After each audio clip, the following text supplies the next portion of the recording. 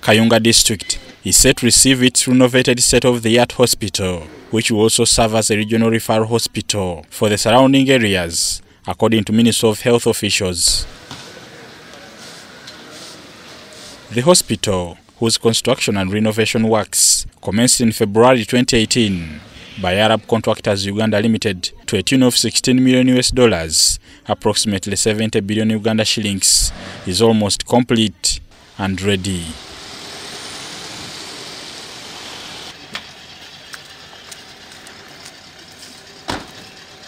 The Permanent Secretary, Minister of Health, Dr. Diana Atwine, accompanied by the Director General Health Services, Henry Mwebesa, and officials from the district, inspected the facility.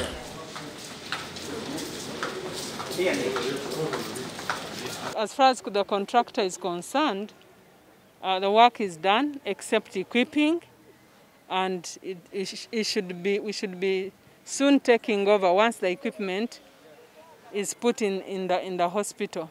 But as you can see, the work is done. That, uh, that is very good.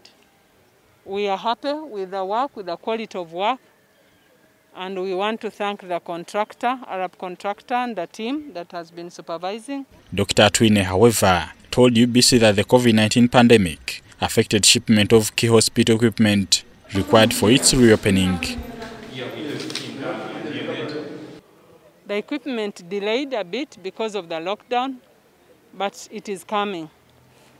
We also came to, to, to agree with the district that since a, a big part of this hospital is done, instead of continuing seeing patients in the makeshift structure, they, they agree to, to, to, to start utilizing the hospital in some areas. And then when the equipment is done and it is fully installed, we shall come with our political heads. Uh, they, they will come and, and, and we hand over officially to the district.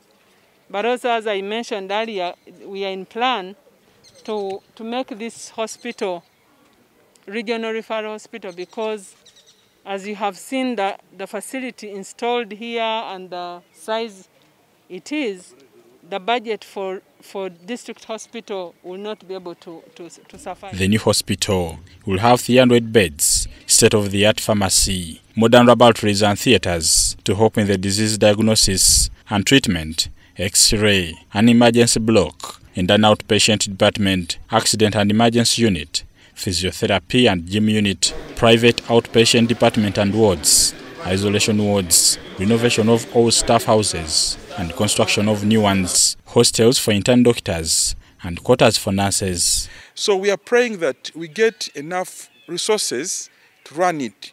Uh, we have been receiving 400 million every financial year, but definitely with the equipment we have, we need more to run this facility. The 40-year-old hospital also serves patients from the districts of Kamuli, Nakasongola, and parts of Mukono and Buikwe.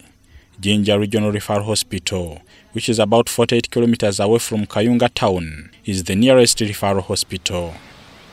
Bernard Higa, UBC News, Kayunga.